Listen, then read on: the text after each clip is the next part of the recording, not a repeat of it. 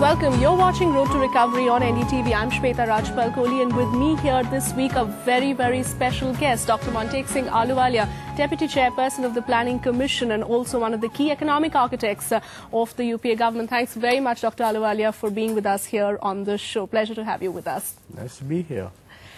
It's been a year since we saw the financial crisis really reach its head, uh, and many are saying that this week really marks the anniversary of the financial crisis given the collapse of Lehman Brothers that we saw in September last year. But there seems to be a realization now that perhaps the worst is over, the global recession, many say, is over, and recovery has truly set in. Well, there's no doubt globally that the worst is over. I think around the world, uh, a year ago, people were not sure whether the financial system would actually survive. I think now they, they recognize that right. it's gone through a lot and many uh, institutions have disappeared, but the financial system is definitely stabilized globally and also financial flows have begun to restart. And it's looking much brighter than what many people had also expected, say, a few months ago. So the recovery, the pace of the recovery has been uh, better than expected. Well, I think the global recovery does appear to have what they call more upsides uh, than people had thought. thought.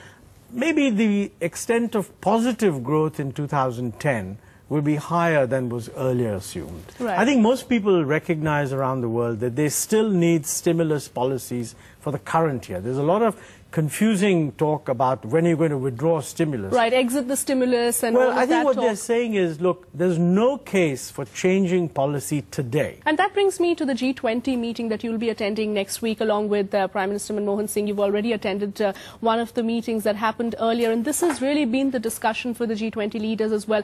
When should we really exit uh, the stimulus strategy? We've in fact uh, got a question uh, from our viewer from Calcutta on the G20 meeting. Let's listen in. In the previous G20 summit, the member countries had an agenda to tackle the slowdown, and hence they had released various stimulus packages.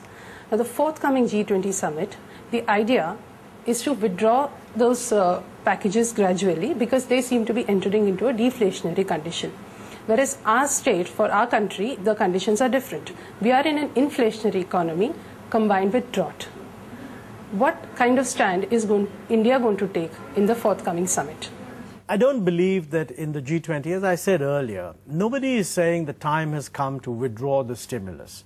Uh, the focus is more that now that the economy has bottomed out, although there's no need to change a stance today, maybe we should think of 2010 you know, as far as we are concerned, uh, I mean, it was said we are in an inflationary situation with drought. I mean, let me say that for the last several weeks, We've had inflation has been negative. negative. Right. This is the first week that it's gone a teeny bit positive. Right. What is true is that but we do have... Pri food price inflation yes, so let's be clear. Yeah. Aggregate inflation is not a problem even today.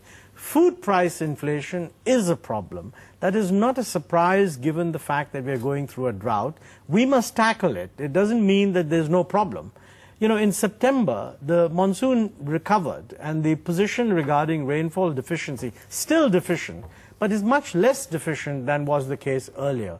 So I'm hoping that in the course of the year, as people perceive that the agricultural situation will not be as bad as some people had feared, that pressure on food prices will ease. And, and the Planning Commission had made various estimates uh, of the growth target for this year. And talking about drought and, the, and some of the facts that you've mentioned here, uh, there was an understanding earlier that we'll have to shave off anything between half to 1% uh, from the earlier growth estimate after the numbers started coming in on the poor monsoon.